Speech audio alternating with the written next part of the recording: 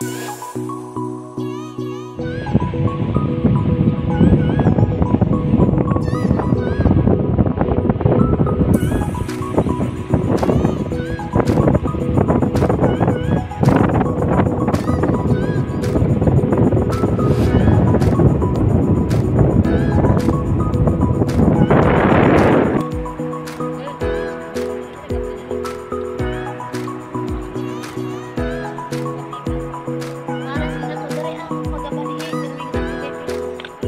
Hello guys, this is Ohana and welcome back to my channel.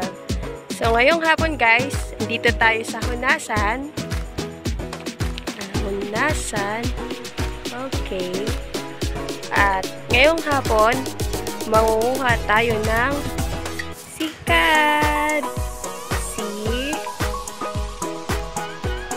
Okay. See you later guys! Ah, ngayon guys, ipapakita ko sa inyo kung ano yung itsura ng sihi na sikat dito sa Hunasan. So, ganito siya guys. Oh. Nakikita nyo ba? Ito. So, ganito siya. Tapos, maghanap-hanap pa tayo guys.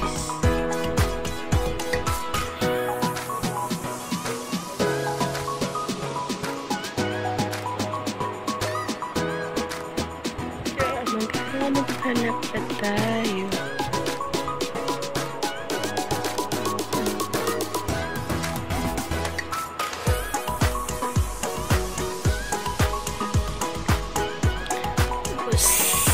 Eto guys, may dalawa dito. Ito.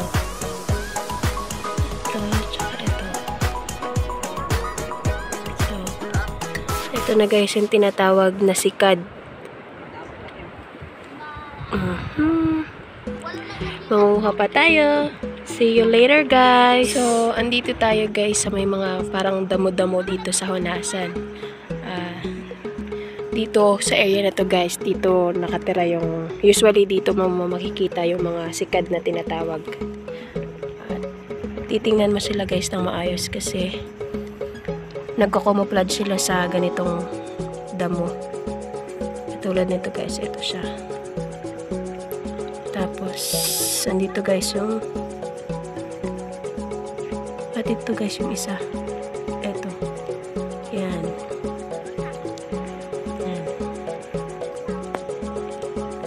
So, malapad yung makukuha, kukuhanan natin guys.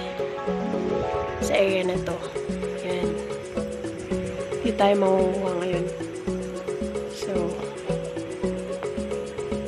See you later. Yung mga ganito guys, ganito kaliliit, iniiwan muna namin. Ah, bale, sa next na naman siya makukuha.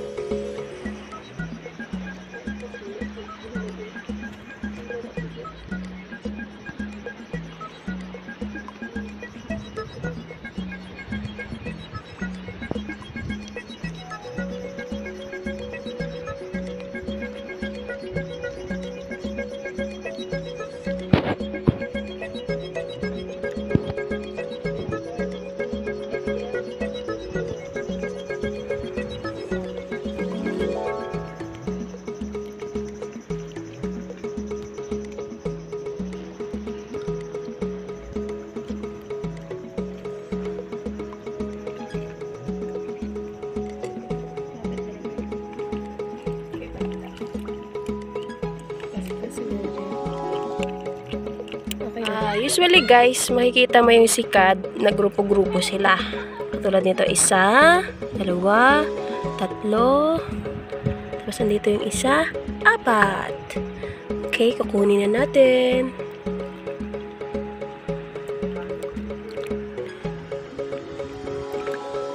Yan. Ito na ang ating kuha ngayon guys. Sikad, sikad.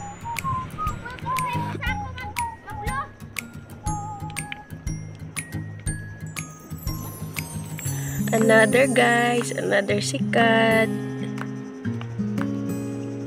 Ito pa. Tapos, sana pa tayo.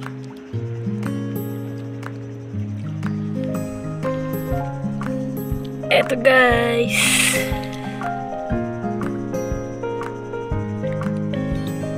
Tapos, eto pa.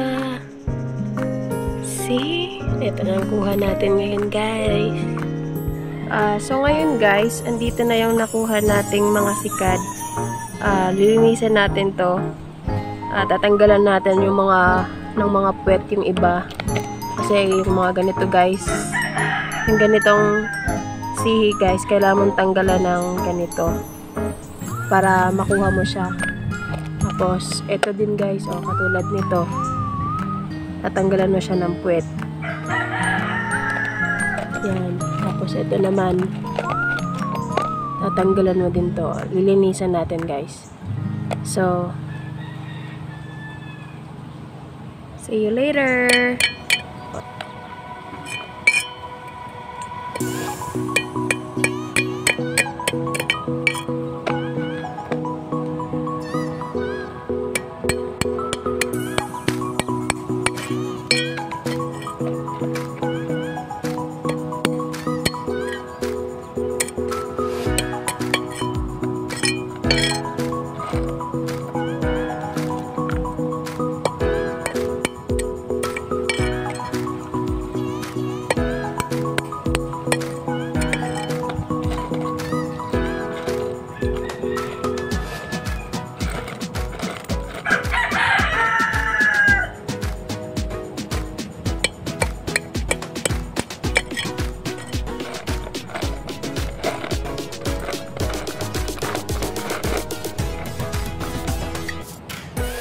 So, ngayon guys, natapos ko ng tanggalan ng buntot yung iba.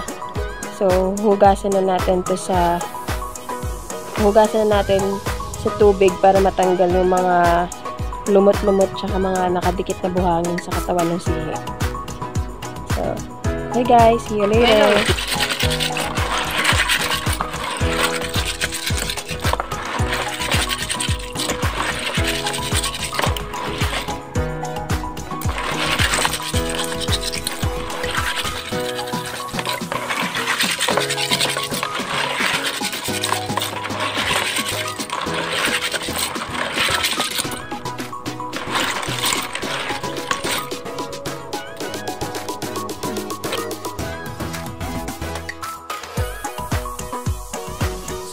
Guys, ready na natin lutuin yung ating sihi.